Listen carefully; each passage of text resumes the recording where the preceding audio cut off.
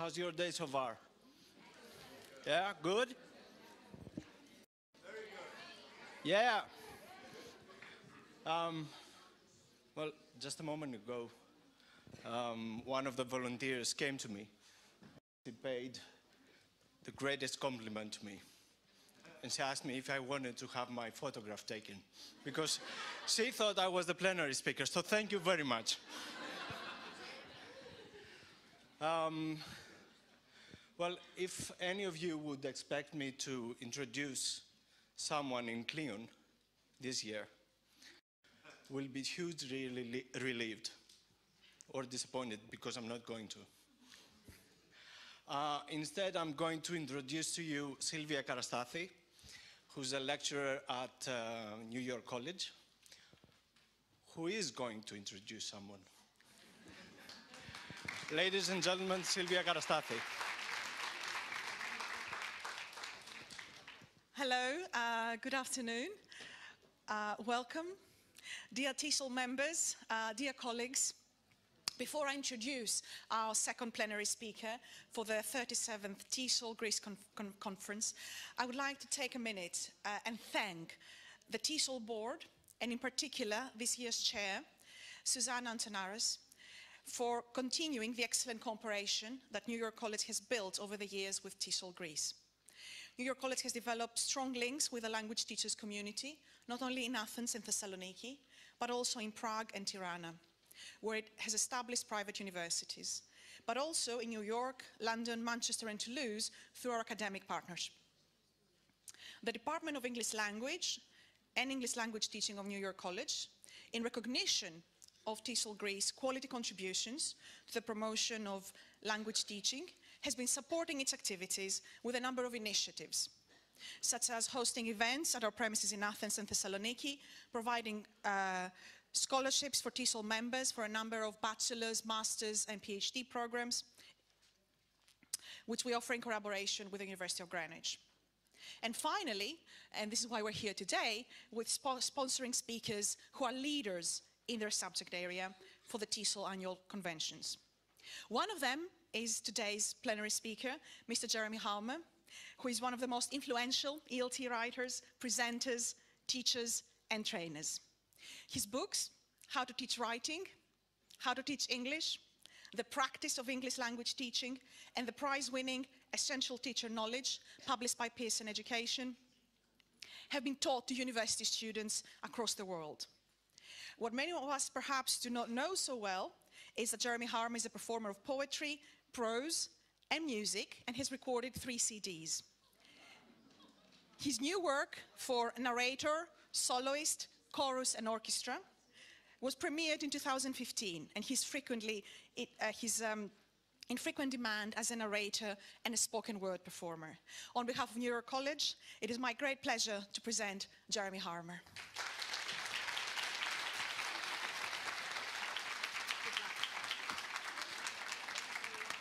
That was so exciting. That was so exciting that I dropped my um, thing. But Sylvia, thank you so much. And, and a, a special thank you uh, from me to TESOL Greece. This is, I was trying to work it out, either my third or fourth visit to TESOL Greece. Fourth, I think it's fourth, yeah, yeah, yeah. yeah. Um, and it's, it's, just, it's just the most wonderful uh, conference to come to. Um, so thank you, TESOL Greece, for the invitation. And thank you, New York College, for the sponsorship. I have the great pleasure on Monday of going to visit New York College, and I, I'm, I can't wait. It, I'm really looking forward to that. Uh, before I start, I should also probably explain the rather strange title that, that you can see there on the screen. It says, um, it says IATEFL International Goodwill Ambassador. Uh, and, and most people, many people uh, in this audience will know what IATEFL is. Just in case you don't, it stands for the International Association of Teachers of English as a Foreign Language. And two and a half years ago, the then president of IATEFL, Carol Reed, sitting over here, uh, um, got in touch with me and said, would I be uh, an international goodwill ambassador for IATEFL? And I, I was very excited by the idea. My mind instantly saw, I don't know, beautiful children in exotic locations and, and, and, and at least private jets and and champagne. And who knows, maybe even a press conference with Angelina Jolie. I just, I just, I, I just, And I said, so, and, and so I said, what's in it for me? And she said, absolutely nothing. Because she's, she's cruel like that. But, but of course I said yes. Why did I say yes? Because IATEFL, for me, this UK uh, institution, is family. Uh, it's got thousands of members, but if I tell you that my membership number is 67, uh, you'll get some idea of, of how important it is in my family life. Um, I'm completely humbled to be standing here talking about it in front of two past, presidents of the association, Carol Reed and Alan Maley here. Um, it's just one of the great teaching organizations in the world. Uh, and its increasing international uh, uh, connections, membership makes it a thing of great beauty and joy. And it has the most wonderful annual convention. Not as good as TESOL Greece, obviously, but, but, but, but it's a great uh, convention. Five plenaries, 250 workshops, uh, um, celebrations in the evening, good fun and everything else like that. But what reason, and of course I would tell you about it because she said I had to, and she's kind of scary. Um, um, but, but, but, but there's another reason for telling you, of course. I know that many people in this room will be with us uh, in a few weeks in Birmingham for the 50th conference. And all I can say is I can't wait to see you there. But if you can't be there, and this is why it's worth talking about now, if you can't be there for reasons of whatever, time, family, money, you can still be there. Because for the last few years, IATEFL has gone seriously online.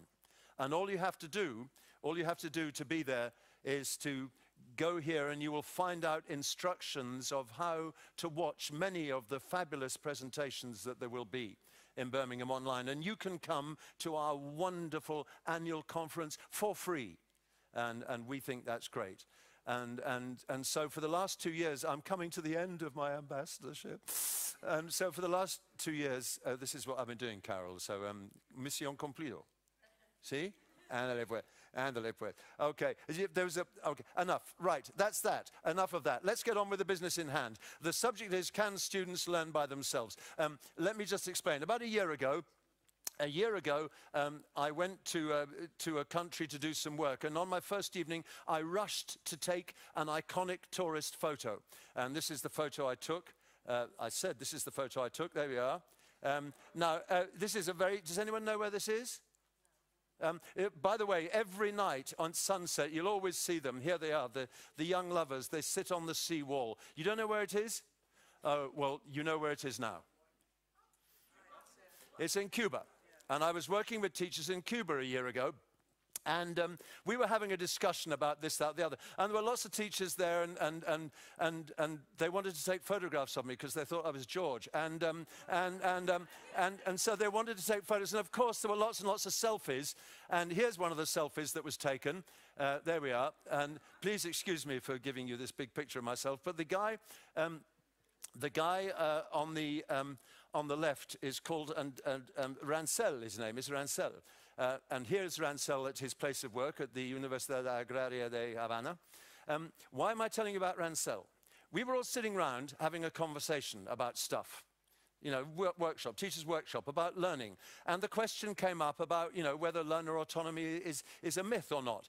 Uh, can students learn by themselves? And Rancel piped up. He said, me. He said, me. I said, what, Rancel? What? He said, well, when I was 11, he said, when I was 11, um, I got obsessed with this computer game, this, well, not um, video game. I don't know where he got it from because technology in Cuba is not a big deal. But anyway, uh, this, he got obsessed with this video game. His problem as an 11 year old was that the video game was in English.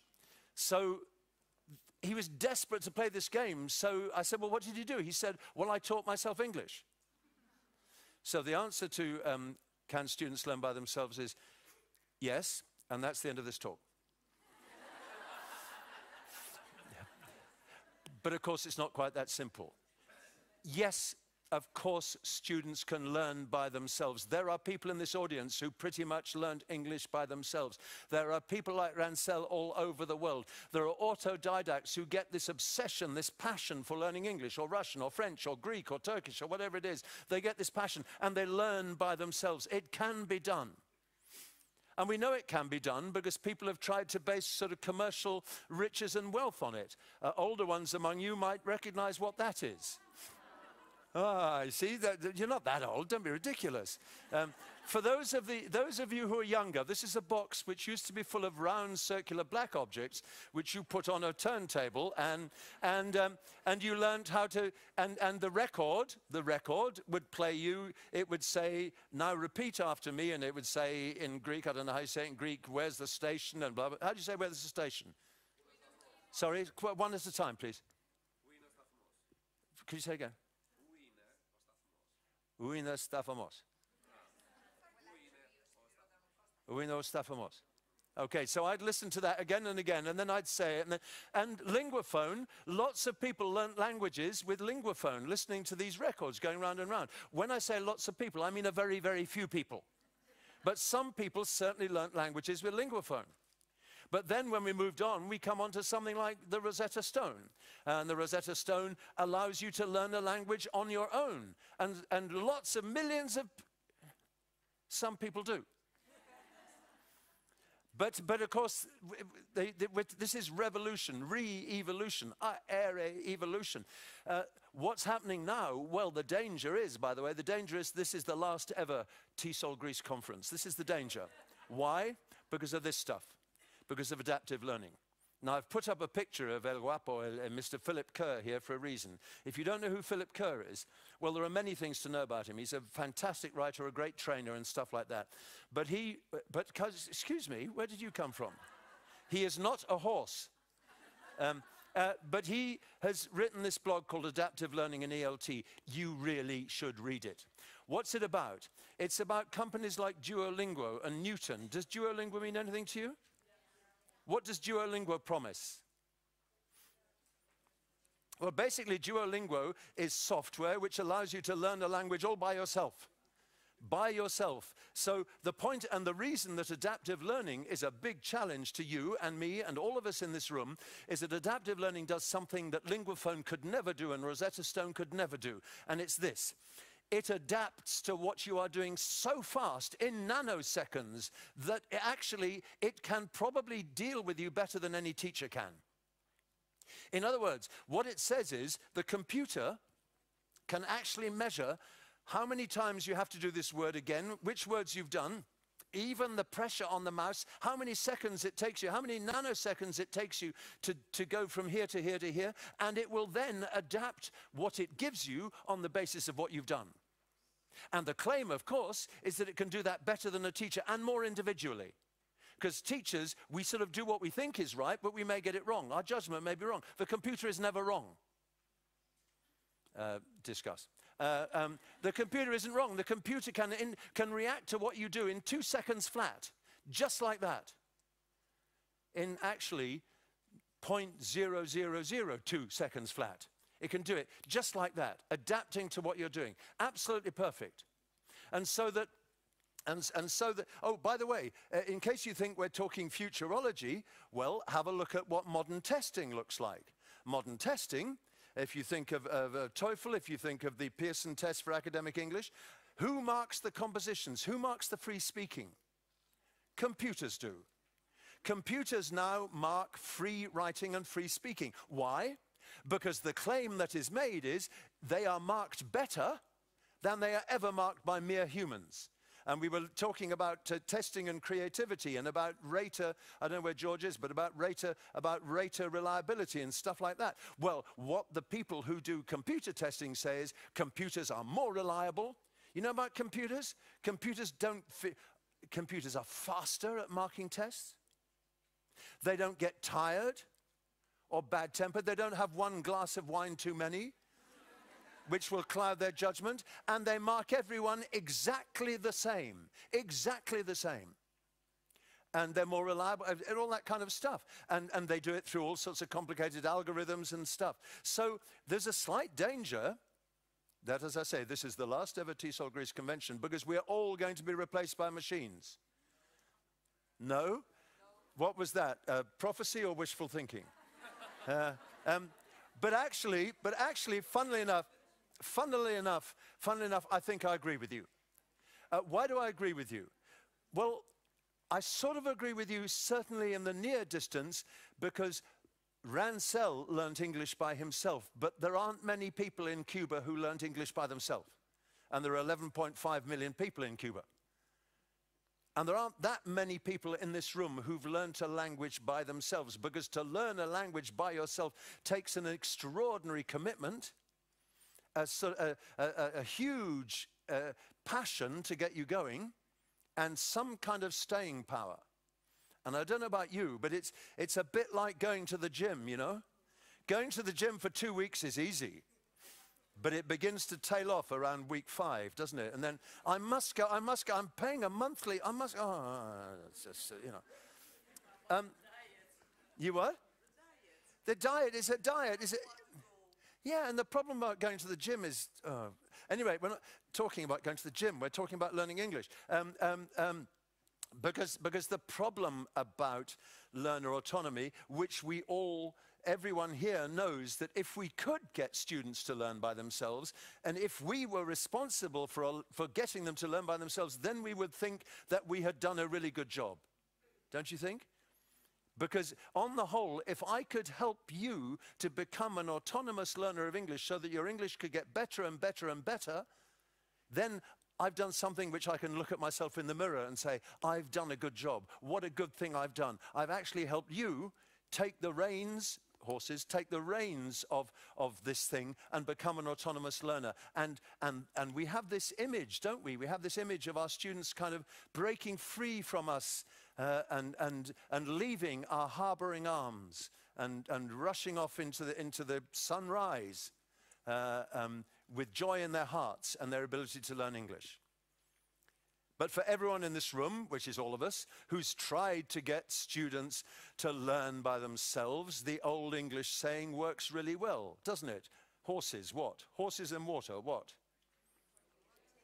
You can lead a horse to the water, but you can't make it drink. So the real question, uh, so the real question then is, yes, you can take the horse to the water, but you can't make it drink. is there a Greek, Greek equivalent to that, to that um, metaphor? Okay. what does it mean?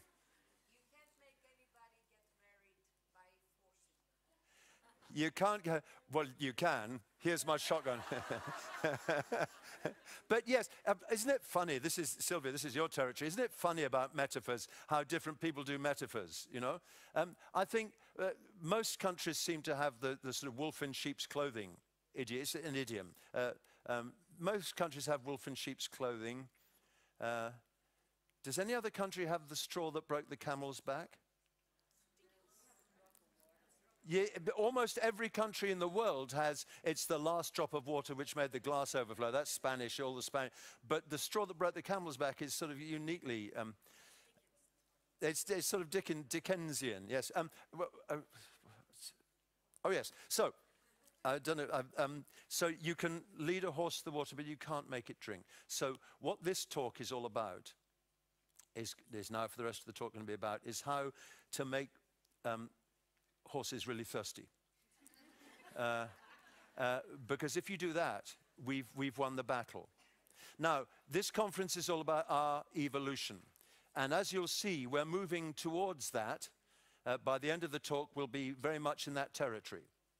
Uh, the first one I talked about, of course, was, was this whole business of, of adaptive learning and whether computers can actually replace teachers, uh, more to the point, replace students in classrooms. Uh, uh, as, as the best mode of learning. And so far, they've signally failed to put up a very good case, in my opinion. And actually, if you look at most adaptive learning, it seems to rely very exclusively on a kind of rather old fashioned kind of audiolingual uh, um, trope uh, to sort of make it work. We'll see. Uh, I'm no kind of um, prophet, and I may be completely wrong. But what I want to suggest now is that uh, though it is maybe impossible to force students to be autonomous learners, still you can make them thirsty. Uh, here goes. Uh, how do we do that? Well, well, the first thing we do is, is to remind students all the time that it's all about you. It's all about you. It's not about me. It's not about the course book. It's not about the teacher. It's not about the syllabus or those pesky exams or anything else like that. It's all about you. This, everything we're involved in is about you. Everything we're doing in this room, this group of students, it's about you. How do we do that? Well, we do it through all sorts of. Uh, Carol was talking about choice. Uh, uh, one of her seven pillars was choice. And, and choice every time you get students to choose something, what you're saying to them is this is about you. It's not about me or the syllabus or anything. It's all about you. So, for example, here's a very simple example. Um, here's, a, here's, a, here's a word list uh, from the end of a unit of a course book. Uh, now, what happens usually to word lists at the end of a What do you do, you personally, uh, if you're using a course book, what do you do with a word list at the end of a course book? Tell me what you do with it. I, that is the most honest answer I've heard. most, most people, if, they, if they're honest, acknowledge that what they do with word lists at the end of course books is absolutely nothing at all. Nothing, absolutely nothing. They sit there. They're a waste of ink, they're a waste of paper, they're a waste of space. Wordless. Maybe some students, the really keen ones, but they're all called Rancel, so it doesn't matter. Maybe the keen ones start writing in sort of Greek translations and doing whatever they do. But all we have to do, all we have to do is make students thirsty. So we, this is a silly little, little, little example, but it's an example. All we have to say is, you're going to be stranded on a desert island. We had a desert island. Who was it? Was it Carol or was it, was it uh, Marisa? Uh, uh, we, we, um, we, um, you're going to be stranded on a desert island. And you can take five words from this list. Which five words are you going to take? Which five words are you going to take? Give me a word. Which word? You, give me a word. Which words are you going to take? Museum. Why are you going to take museum? Who said museum? Go, Sylvia, why are you going to take museum? I just want to live in a museum. She wants to live in a museum. Okay, there is slightly weird, but that's okay. But, but, but yes, take, which word are you going to take to this desert? Holiday. Why are you going to take holiday? I need a holiday. We all need a holiday. TESOL Greece is a holiday. Um, but, but yes, so it's a silly example. It's a very silly example. Except it's not silly because underneath, it's, it's rather more profound than that. Because what we're saying is it's all about you. Which word would you like to take to a desert island? Uh, yes, I know it's a sort of game. We talk about play. It's a sort of gamey thing. It's a little game-like. But it, just the fact that you look at a group of English words, which are the kind of words that the teacher throws at you all the time, because that's what language teaching is all about, and we say, which word would you like to take with you? Just that fact is a way of saying to the student, it's all about you. We could, uh, uh, another variation, this is from a woman called Sheelagh Deller originally, who many of you will have heard of or know about. She has worked for pilgrims. Uh, uh, this is the same kind of thing. At the end of a unit, get students to write down all the new words that have come up in the lesson, in the week, in the something like that, and then they have to decide whether they want to put the words in the, in the fridge, the dustbin, or the suitcase. And if they want to put the words in the dustbin, it means, do you know what? I don't particularly like this word. I never want to use it. I'm fed up with this word. And you kick it in the dustbin and you don't, it's nothing to do with you. If you put it in the fridge, it's because you've made a decision that you think this word might be useful in the future, but you're not quite sure. So you put it in the fridge to keep it fresh. But if it's a word you think you knew, you, if it's a word you think you need right now, well, put it in your suitcase and take it with you. Silly, no? Except it isn't silly. It's kind of clever. I think it's a sweet idea. And the reason it's not silly is because it doesn't say, the teacher says you must learn these words. Uh, this, idea, this idea of, you know, the, the, the, the 10 words, and then you get tested at the end of the week with these 10 words. Misty was talking about that this morning, I think. Uh, and, and this isn't saying that at all. This is saying, this is saying, which of these words do you want? And if you don't want some of these words, throw it away. It's all about you. What happens, what happens if, if um, sometimes I think about pronunciation teaching. Uh, everyone knows that, everyone knows uh, the pronunciation problems that Greek students have in speaking English, right? Everyone has the same problems, right? Well, of course not. I mean, I don't know what the main problems are, but you know there are one or two classic issues to do with uh, English pronunciation and Greek pronunciation, but every student has their own issue. So instead of saying to the students, I want you to practice these five words because every Greek student has a problem with these five words, or we've got people in this audience from Iran, from Turkey, from, from, from Serbia, from, from all sorts of places like that, instead of saying, you all have the same problem, why not say to the students in the same way, which words do you find most difficult to pronounce?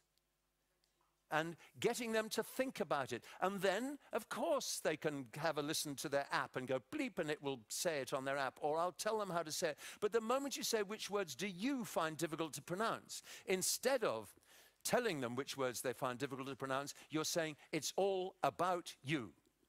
Um, uh, I liked very much an article in, in ELT Journal in 2009 by someone called Friedman, working in Japan.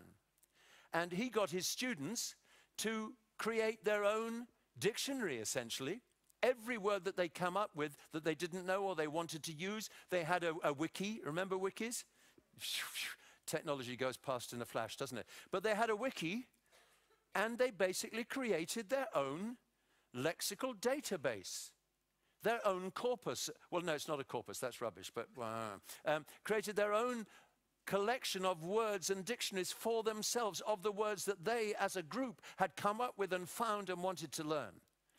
Because the moment they did that, it was all about them. I've been involved recently in, in, um, in course writing, and, and, and we have a, a, a section we regularly put in called Explore Online, because until until you get students, and if you introduce anything to students, a topic, anything, to keep it in 2016 within the walls of the classroom is insane. Because I can say, it's all about you. Why don't you find out what's going on? Why don't you get involved? Because when you get involved in this topic, maybe if they go and see about the recycled orchestra, ask me afterwards. It's a great story with a rather wonderful and peculiar little sort of coda in it. The moment they go looking, they get involved. It's all about you. So the first thing we need to do if we want to try and get students thirsty is to persuade them that it's all about them. But then there's a concept that, that, uh, that, that impresses me mightily, and it impresses me more all the time I think about it. It's another metaphor for teaching. You know all about it. It's another metaphor for teaching. This is from Adrian Underhill, who many of you know for all sorts of reasons, most of which are that he must certainly have talked about pronunciation in TESOL Greece on certainly more than one occasion, I suspect. Uh, um, uh, of course, Adrian, uh, uh, renowned in many spheres and circles, but especially for his book, um, um, Sounds, Sounds what? Sound Foundations.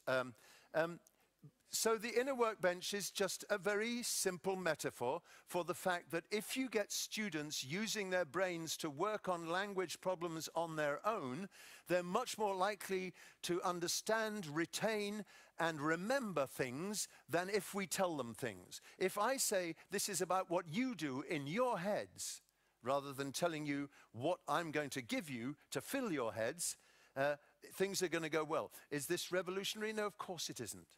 Uh, we've been talking about this for a long time. But what Adrian does is he gives it, to my mind, a, a clear little focus. Let me explain, uh, just, just in case uh, some of you are not familiar with this concept, the inner workbench. You know, some people have a shed at the bottom of the garden and they have a workbench where they make things and they, they uh, change things and do things. He says students should have one of those in their heads. Do it yourself, we call it in in the UK, DIY.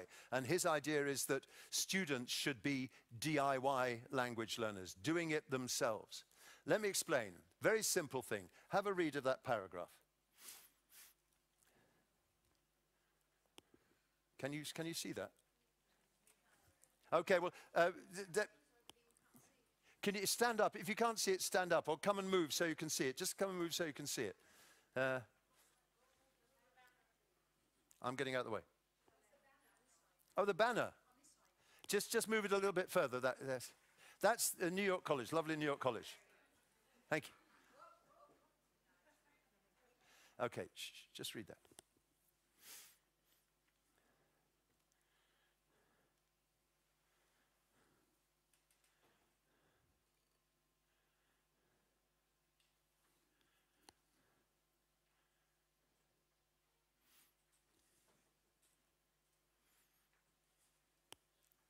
Okay? Now, this is just a paragraph from a book of mine called The Practice of English Language Teaching, but that's neither here nor there. Uh, what Adrian suggests is that when you read this, when you read this, you're actually practicing pronunciation. Because we've got this thing called the phonic loop. and everyone who reads kind of reads aloud in their head. And what he says is, why not, why not, why not maximize, why not use this incredible potential? So, for example, uh, so, for example, the sound O, as in hello. Read the paragraph again silently and see how many words you can find in that paragraph that has the sound O in them.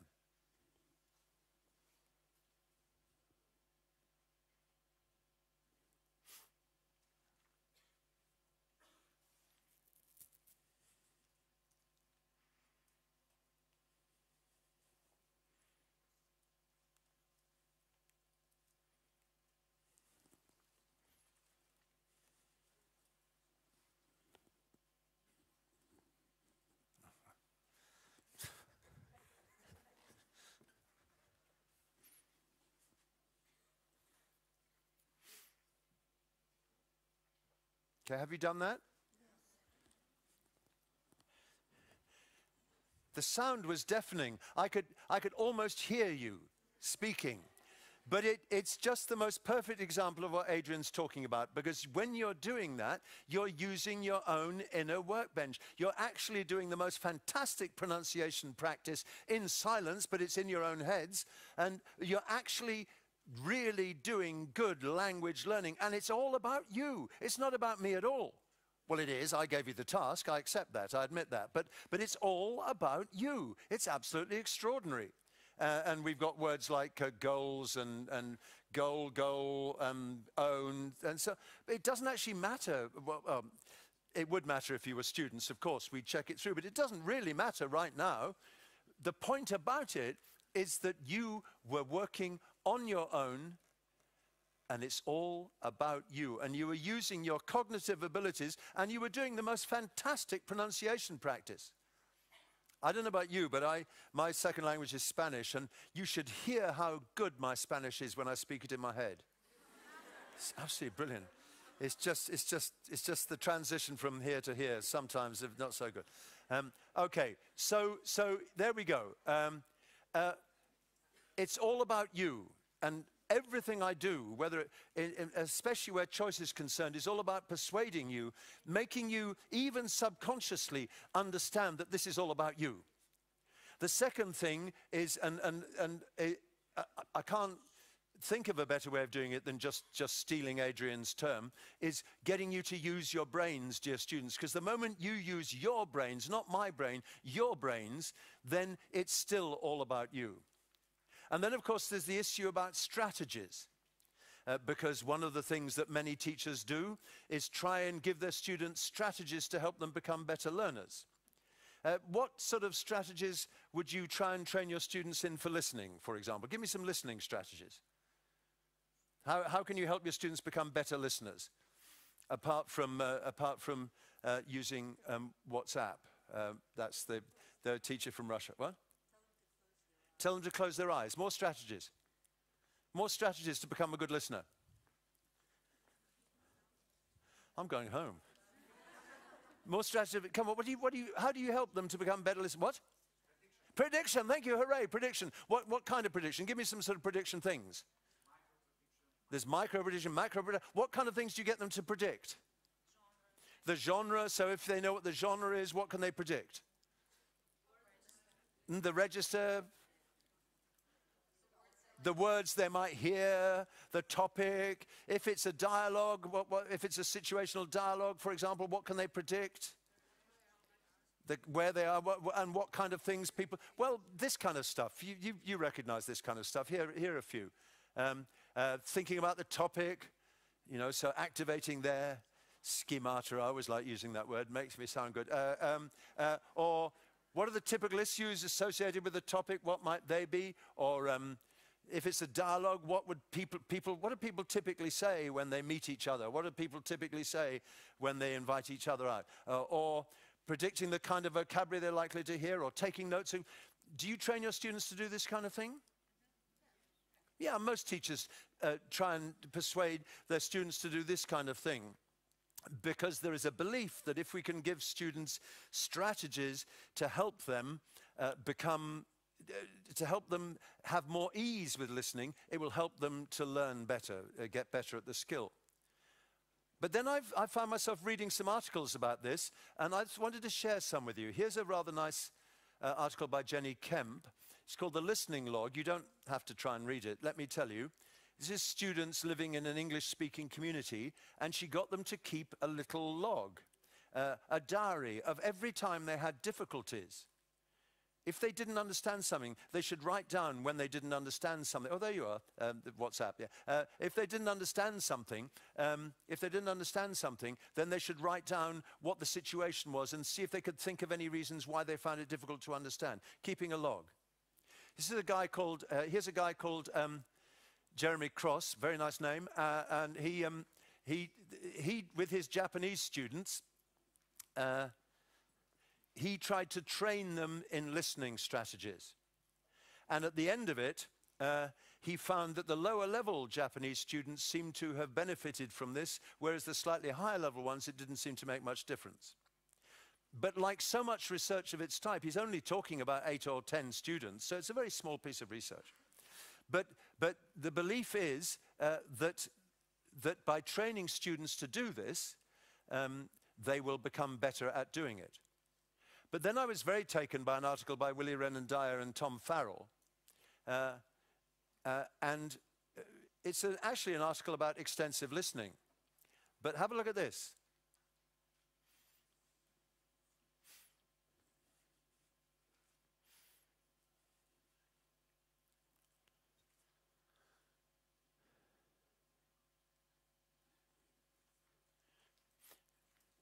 Sorry, it's, it's, I'll stop doing this after a bit. Uh, but but, but what, what they seem to be suggesting is that they don't think strategy training is really effective. They think it, not necessarily, it doesn't necessarily work. It places a great burden on, on teachers to try and come up with training materials and activities to do it.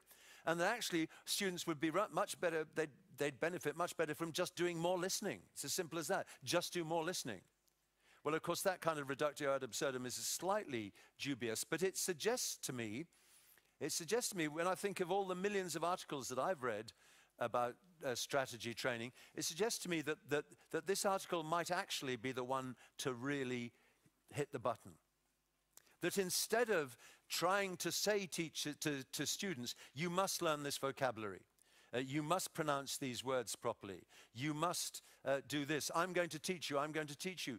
Putting it all in the student's hands because it's all about you is the way to try and provoke some kind of autonomous existence. And so, what she's doing in this is not saying, I have strategy training for you, not saying, I'm going to help you uh, have better learning strategies. She's saying, keep a record of every time you have difficulty with listening situations you're in. Make a note of when it is. And then my suggestion is reflect on it and think about it, and we'll talk about it and see if there's anything we can do to help you. But you see what I'm talking about? It's a completely different issue to get students to tell you how they're getting on from me trying to tell you how you should get on. And I've got things to make it easier for you. Actually, why don't we get them to say what they find difficult and move from there? Uh, but uh, something, uh, uh, uh Carol was talking in some detail pillar number six, seven, 23, is the one about critical thinking. Uh, and I, and I, um, I, I was very taken by an article that Tessa Woodward wrote recently in a journal called The Teacher Trainer. And she talked about critical thinking, and she concentrated not on critical thinking skills, but on what she calls, or maybe I call, somebody calls think time. This isn't a new concept. Uh, in 2003, uh, there's a, a, wonderful guy called Marc Helgesen who works in Japan, and he wrote an article called, it says, Marc Helgesen invites students to talk to themselves. And his point was one of the greatest things you can ever get students to do is to use their inner voice, to use what's in their heads, just as you did when you were doing Adrian's inner workbench thing, uh, just as people do with conversations all the time. Uh, for example, just imagine Uh, I'm sure this has never happened to you, but just imagine that you had a row with your husband or wife. Um, I'm, I, am just talking from evi hearsay evidence here, but, but imagine you have a row with your husband or wife. This is a disaster. A row is a disaster. It's never any good. Uh, there is no way that anyone ever emerges from a marital row saying, Oh, I'm so pleased that happened. It just doesn't happen.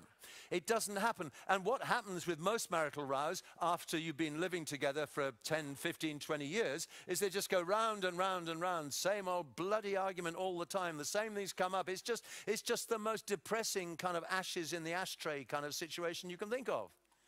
But what's really interesting about marital rows is when you leave the house and get into the car, you play the dialogue all over again in your head, and then you come up with a killer line and you win the argument. Bam!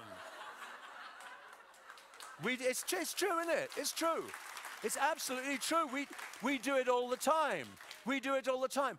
What do you, what would you do if you met, think of who would you like to meet? What would you do? Uh, Obama's going to Cuba in a, in a couple of days. If you bumped into him on the streets of New York or Havana, what would you say to him? What would you, if you met her, and we played the conversation in our heads.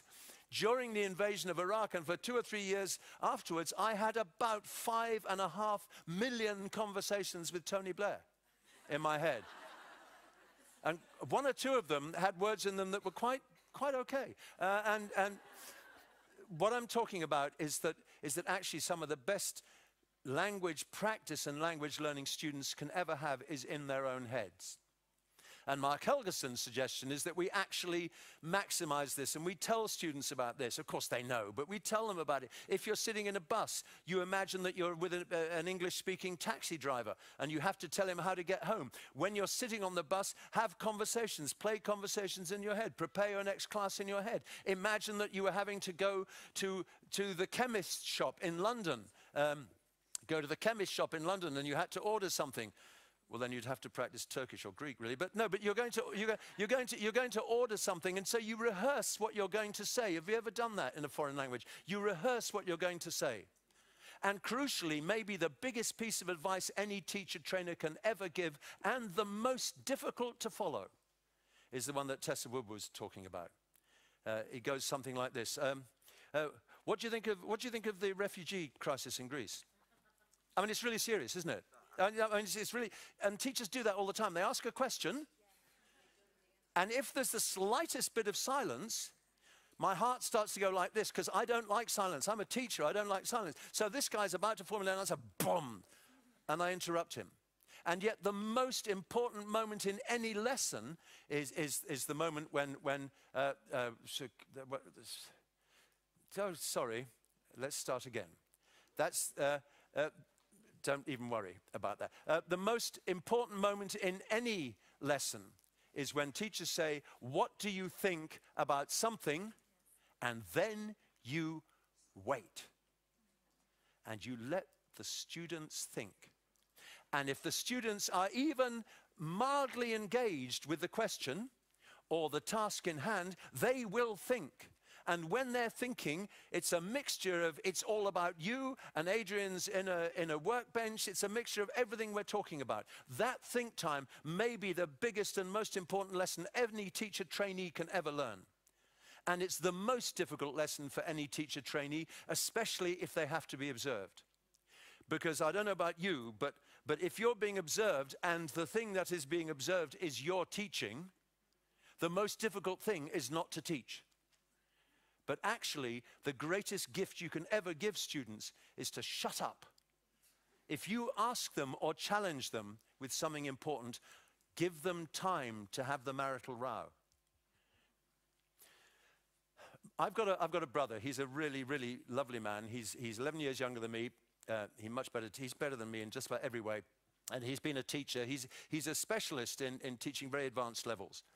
He used to teach uh, for Cambridge proficiency uh, all the time. And he, everybody loved him. I promise you, everybody loved him. I'd go to the schools where he worked, and they'd say, "Oh, he's the best teacher in the school." The bastard. Uh, you know, he's, he's everybody, everybody absolutely loved him. He was wonderful, and for various reasons which I won't go into, he had to stop teaching.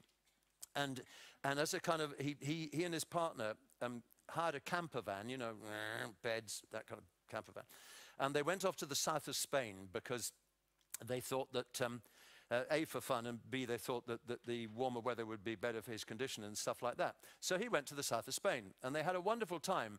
And uh, we'd ring every now and then. And, and I rang him one day and I said, Hi, Philip, how are you getting on? He said, It's fantastic. You know, it's fantastic.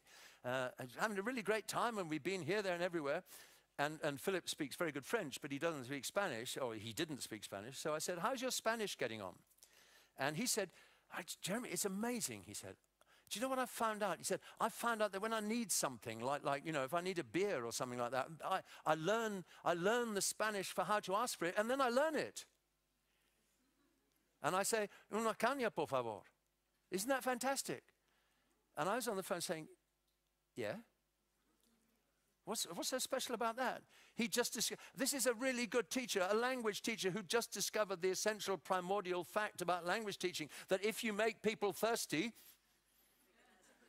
they will drink. You know, but it had never, it's suddenly when it's applied to your own life, it's like a new revelation. So, so um, uh, this thing, this making people thirsty, if we can create in students a need, a need for something, then they will go and get it, and we will have learner autonomy. Because if they need something enough, they will go and get it.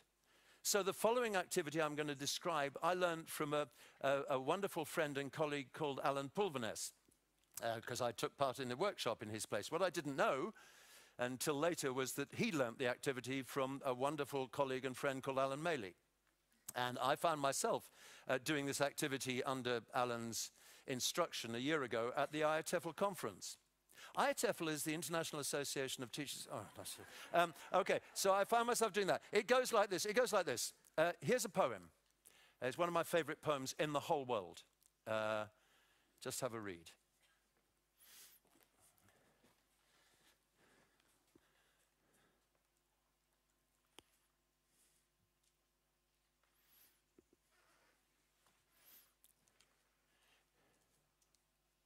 And the poem is called Midsummer Tobago, and it's by the Trinidadian poet Derek Walcott. Now, if I were Alan Maley, by the way, I've done this activity with students of various ages and levels. I've been a participant, as I've suggested, in this activity twice, and I've done it with lots and lots of groups of teachers. What Alan and I have said when I've talked to him about it, because I acknowledge his brilliance in this is that I have never seen it fail, either as a participant or as a, or as a, a leader. So the instruction is perfectly simple. And ideally, I'd put you in groups of about six or seven people. Uh, and probably each group would get a different poem, who knows, but that's neither here nor there. The instruction is perfectly simple. In 20 to 25 minutes, you have to perform this poem to the rest of the class, or this audience, or whatever. We don't have time to do it, so you'll have to believe me. And he'll back me up. It works, I promise. Um, you have, in 20 to 25 minutes, you have to perform this lesson to the rest of the group. I don't care how you do it. You can do it in chorus. You can do it word for word. One person can speak the poem and the others can do something else. I don't care how you do it. You can do it any which way you like. You can do it standing down, sitting up. You can lie on the floor. You can stand on the table. You can take all your clothes off. You can do whatever you want. I don't care. The only thing you have to do is perform this poem to the rest of the class. Oh, and there's one condition. Every single member of the group must take part. And all I can tell you, both as a participant and as an organizer of this activity, which I have now taken up with a rather kind of almost sort of juvenile uh, enthusiasm, it's absolutely sensational.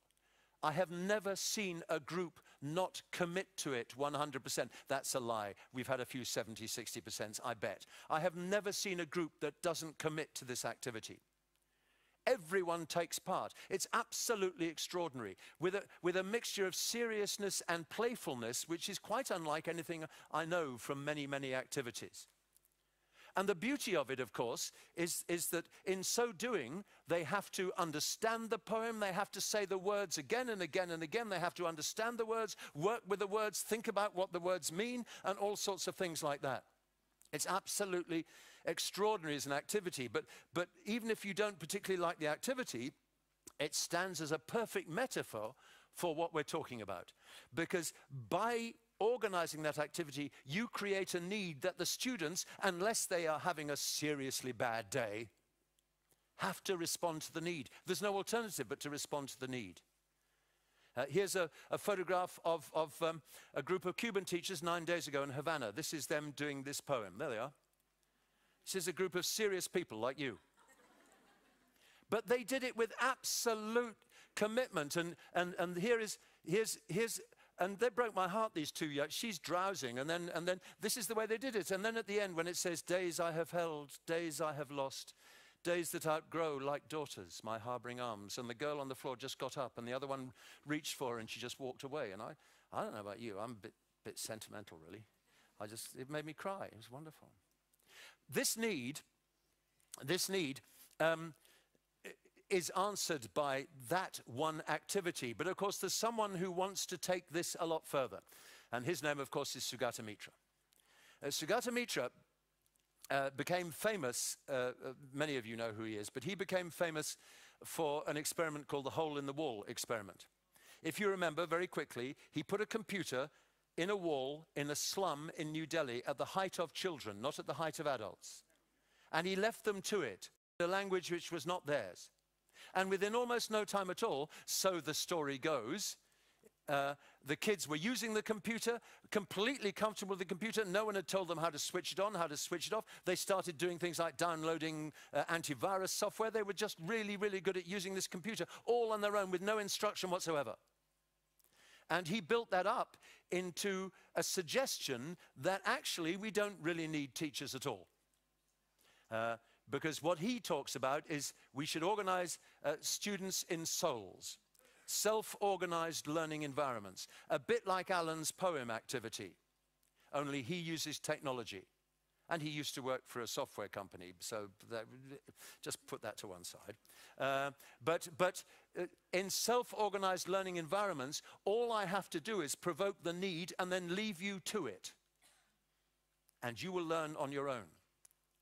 Because his belief is not in teaching, his belief is in what he calls minimally invasive education. The less the teacher invades the education business, the better.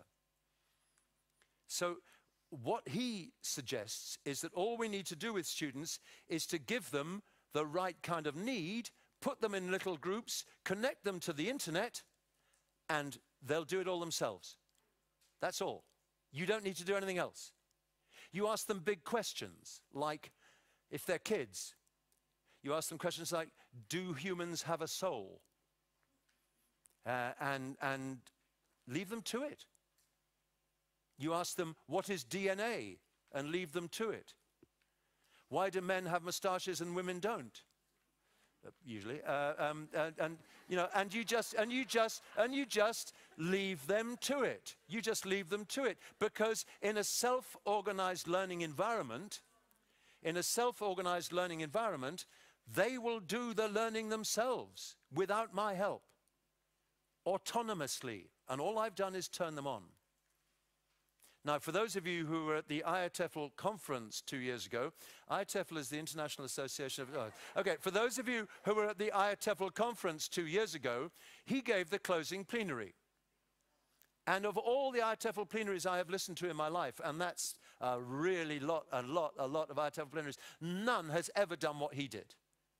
Absolutely extraordinary. At the end of his plenary, half the audience stood up and cheered him to the echo, their hearts full of emotion and joy at what he'd said. And the other half of the audience sat on their hands, and you could see the smoke coming out of their ears.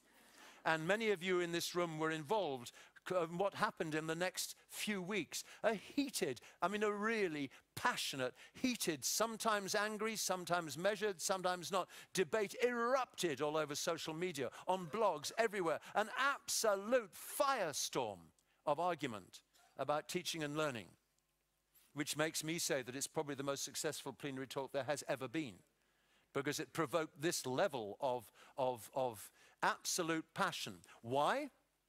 Well, because for the people, by the way, in his defense, not that he needs any, he's a consummately comfortable person and a brilliant speaker.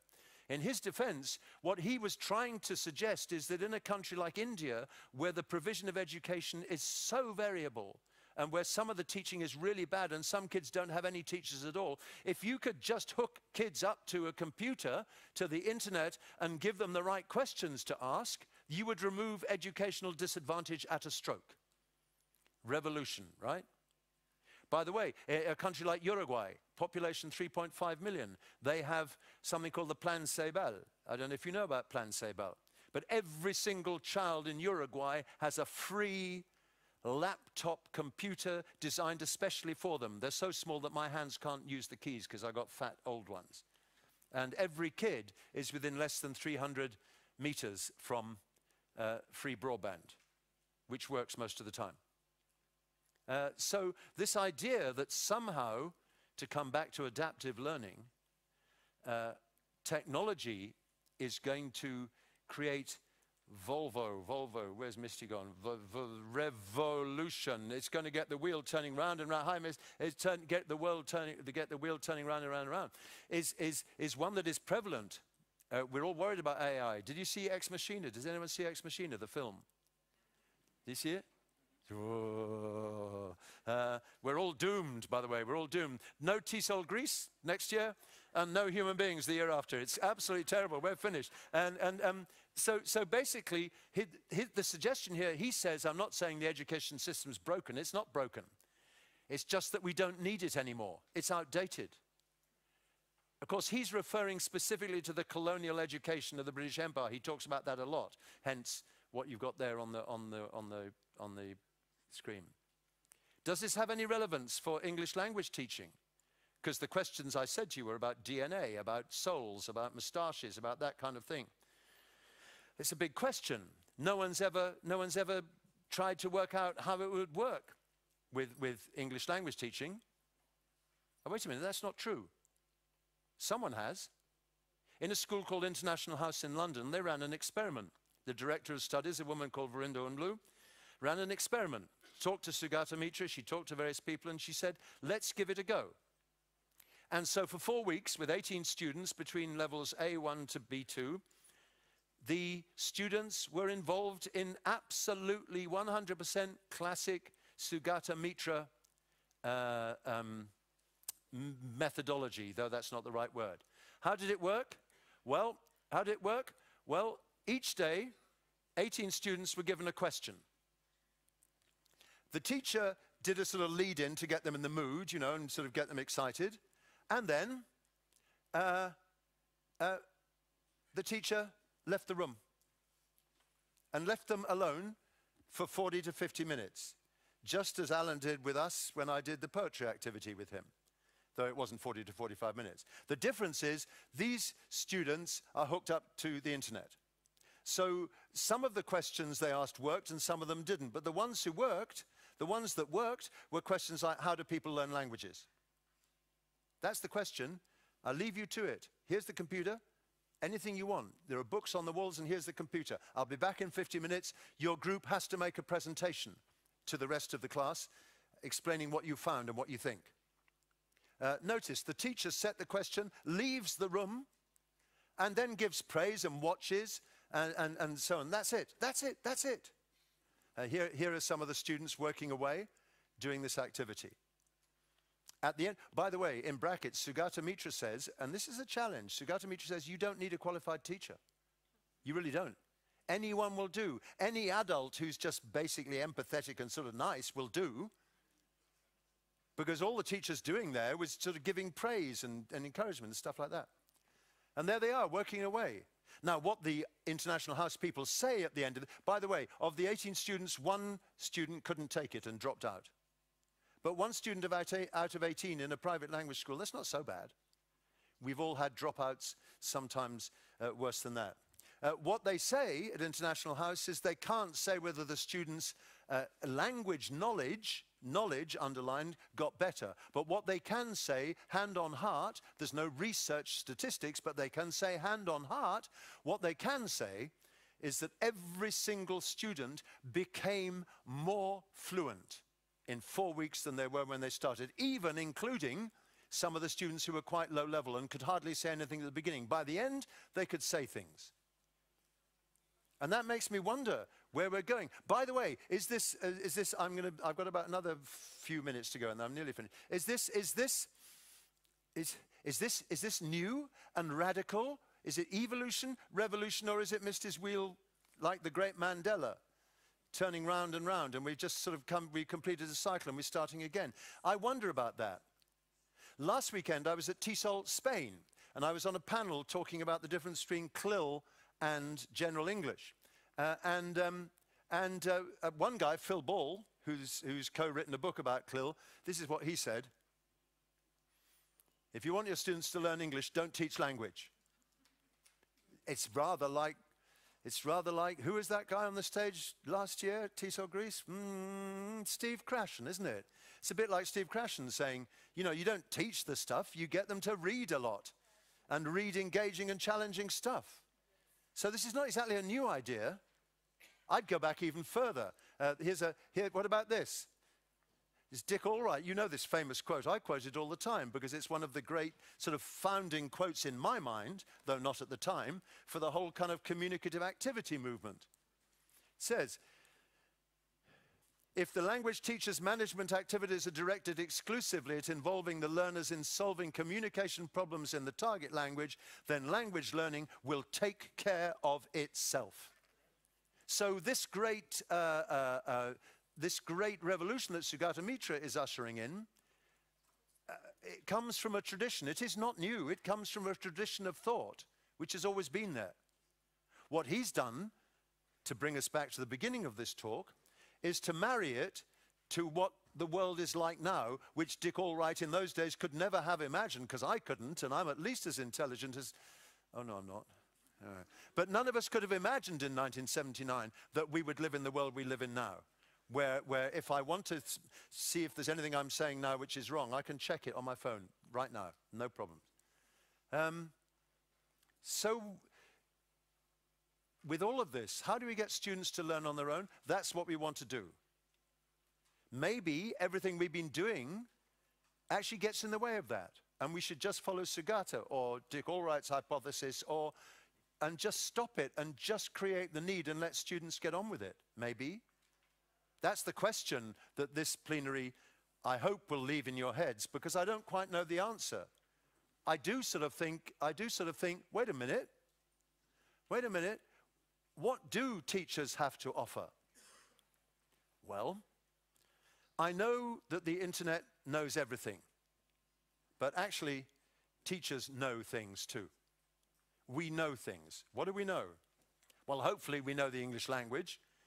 Hopefully, we know something about it so we can explain it, though, of course, trying to explain a language is absolutely impossible. Misty's brilliant explanations of compound words this morning worked absolutely fine. It's a bit like we, I can explain the present simple without even opening my eyes or thinking about it.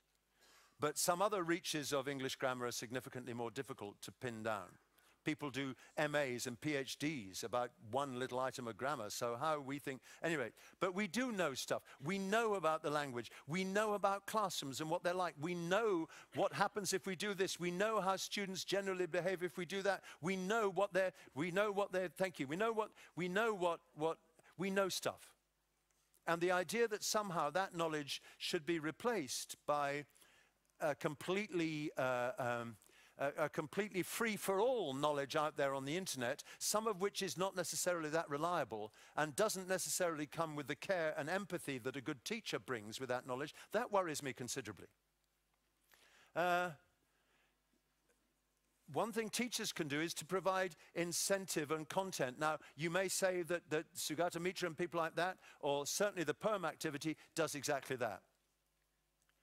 Uh, so, in that sense, maybe both that poetry activity and the Sugata Mitra kind of stuff uh, fits perfectly with, with my own understanding of what, what teachers can bring and what teachers do.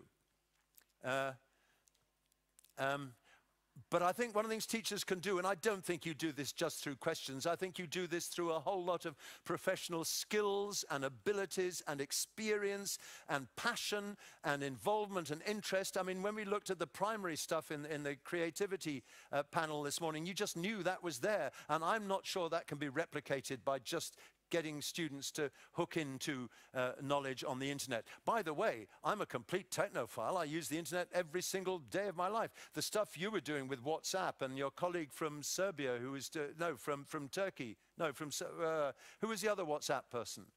Uh, the poster, a lovely poster. One of them was doing it for writing, and the other was getting students to listen. Uh, you were doing the listening stuff. And then, the, the, oh, sorry, from Iran. I'm terribly sorry. The woman from Iran who was, there she is. Uh, hello. Uh, and they were both, if they're wonderful posters, go and have a look at the poster presentation. They're using WhatsApp to get students to interact and do stuff. Uh, isn't that wonderful that you can do that? But the point is, they're doing it, they're guiding it, they're, they're structuring it, they're motivating, they're motivating their students to take part. I think that's what we do. That's one of the things we do as teachers. Uh, um, and the one thing we can do, and, and this is what I've found out with music teachers, when I've had music teachers, is the one thing teachers can do that, that, that all these free activities aren't so good at doing is pinpointing errors understanding where the weaknesses are, trying to help you over humps and weaknesses, trying to help you see what's going wrong here and what's going right there. And that's what teachers do. And software doesn't do that in the same way, at least not yet, as far as I can see. Uh, and of course, teachers, teachers can guide and teachers can, can, can scaffold. Uh, teachers can scaffold. Thank you. That's just what I said. There we are. So, so what I've tried to do in this plenary um, is to say that, of course, students can learn by themselves. Of course, one of the great achievements we could have if we were good enough is to help students take more and more responsibility for their own learning and turn them on to places where they can find what they need to become better at English or any other subject. I've suggested that indeed we live in a world where technology can help us enormously in this, but I don't think it is the answer yet uh, for what we're talking about. So, what we do instead is we, we do everything we can uh, to try and, and make students thirsty. I can't think of a better image. To make students thirsty. So they try and get they're desperate to get what it is we want them to get. And that's when they start to become autonomous. But I believe profoundly, and I suppose I would say this because otherwise, what's the point of me or you or anybody? I believe profoundly that we have a role in this, not only to try and persuade you to take responsibility for your learning, but also to help you and to bring our professional expertise to bear on this. And so, just as Misty this morning uh, gave us a number of stories. I'd like to end with a story uh, about teachers. Um, I want to go back to, to uh, it clearly has died on me, this stupid thing. I want to go back to Cuba. Uh, um, because last year, I was there again for two weeks just the other day, but last year, they wanted to take me to the Museo de la Campaña de Alfabetización which would translate, it's, it's the Museum of the, the Literacy Campaign. They said, Jeremy, Jeremy, we want to take you to the Literacy Museum. And I don't know about you, but my enthusiasm instantly skyrocketed. A literacy museum? Can you, I mean, what do you get? It just, I'm, to be honest, I was most unenthusiastic, and I would have got out of it if I could. Um, I mean, if they wanted to take me to the Museum of the Revolution, I could understand that but a literacy museum. But I had no choice. I had to go along. And it's the, the literacy museum is in the, is in the Campo Escolar, which is the, the, uh, the school. Um, oh, it doesn't matter. Anyway, here's the museum. As you can see, like so many things in Cuba, this doesn't look like the greatest museum you've ever seen. It's a bungalow. It's got about five rooms. The walls are kind of off white and they need repainting. The, the exhibits are in glass cases which are dusty and they're very small. I was met at the entrance by the directora, the director of the uh, museum, a woman of about my age, who looked at me with great suspiciousness. And she said, ¿Quién es el gringo? In other words, who's that? You know, because for all she knew, I was coming, I was a counter-revolutionary. I don't know. I don't know what she, but they said, it's all right, he's Jeremy, he's interested, and he speaks Spanish, so you'll be all right, blah, blah, blah. And in we went. We went into the museum. And I'm now going to tell you uh, what I found there, some of what I found there. Um, in the hall, there's this great big picture of Fidel Castro. Now, in order to understand this story, I have to say this to you. This story works fine whether you think Fidel was a saint or a devil whether you think communism is the worst spawn of human evil or the greatest political system there's ever been, whether you think Fidel was the most charismatic leader in the history of the world or the biggest fool or idiot there's ever been. This story works whatever you think of the system and of Fidel. Here he was at the United Nations in 1961 giving one of his little speeches. This one went on for only four and a half hours.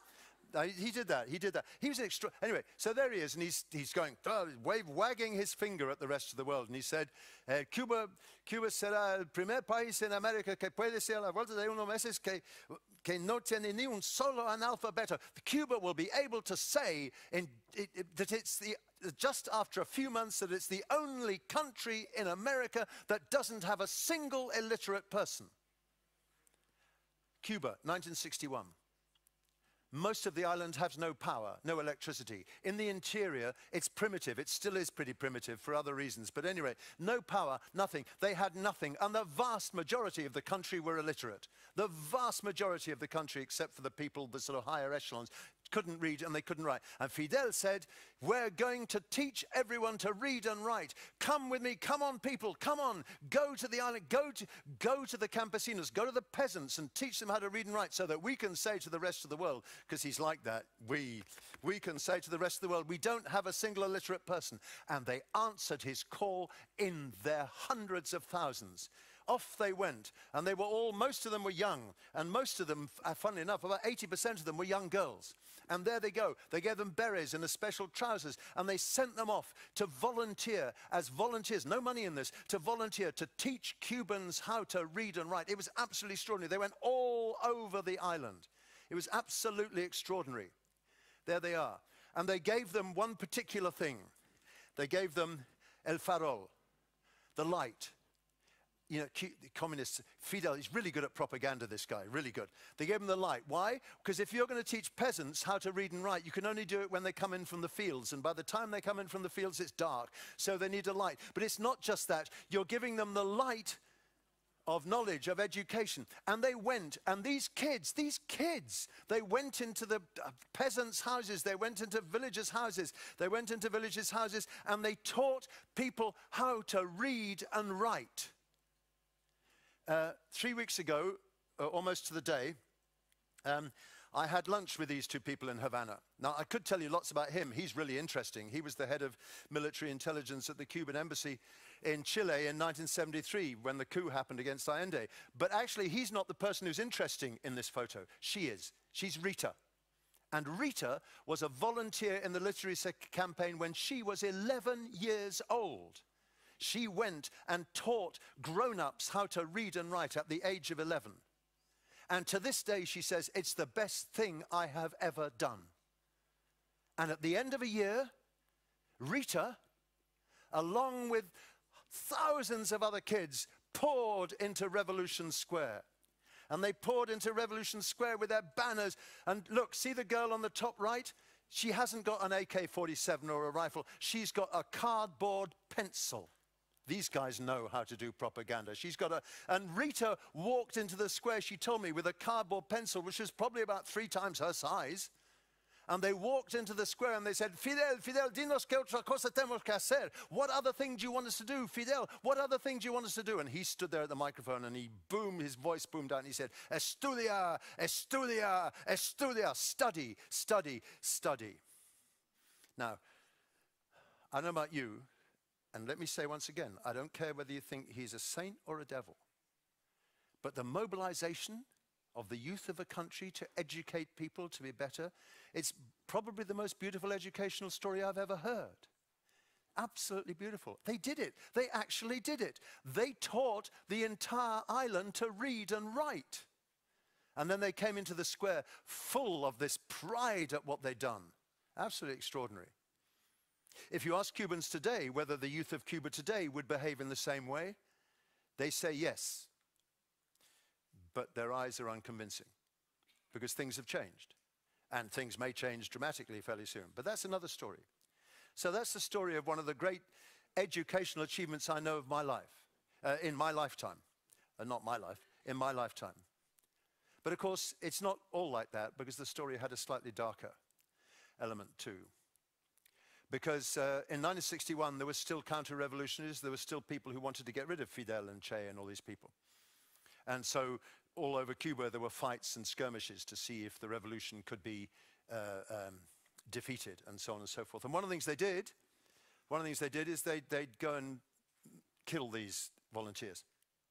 Because that was a, it was a bit like, by the way, you know, poor old Turkey, those of you from Turkey, not again today, all over again, another bloody bomb. Anyway, uh, so, so, um, so, so one of the ways you make your point is by killing people, by killing people. So they killed some of these, these volunteers. They killed some of these volunteers. And at the very moment that, uh, that Rita uh, was teaching, at the age of 11, someone to read and write, um, uh, a young man called Manuel Ascunce Domenech, he's the guy on the top, I think he's so beautiful with his serious face and his beautiful mouth and his eyes, was teaching, uh, was teaching um, the family of, of Pedro Lantigua to read and write. And one night, while they were working, uh, um, the bandidos, the counter-revolutionists, burst in. They burst in the house, they smashed down the door, and they shot Pedro Lantigua dead. And then they turned to the woman and they said, ¿Quién es eso? ¿Quién es eso? ¿Quién es, who's, the, who's the boy? Who's the young boy? And the wife, in order to, to desperately to try and protect this boy's life, she said, pues es mi hijo. He's my son. He's my son. And Manuel Ascunce Domenech, this is the story the director told me. Even though he knew what risk he was running, even though he knew what perilous danger he was in. But filled with the orgullo, the pride of having answered Fidel's call, and filled with the pride of having done this extraordinary thing, this thing of educating someone, this extraordinary gift, something he'd never imagined, he looked the gunman in the face and he said, No, no soy el hijo. He said, Yo soy el maestro. I'm the teacher. And they shot him dead. And to this day, when you start your teacher training course at the Universidad Pedagógica, sometimes you get a t shirt, and on the back it says, Yo soy el maestro. Thank you very much.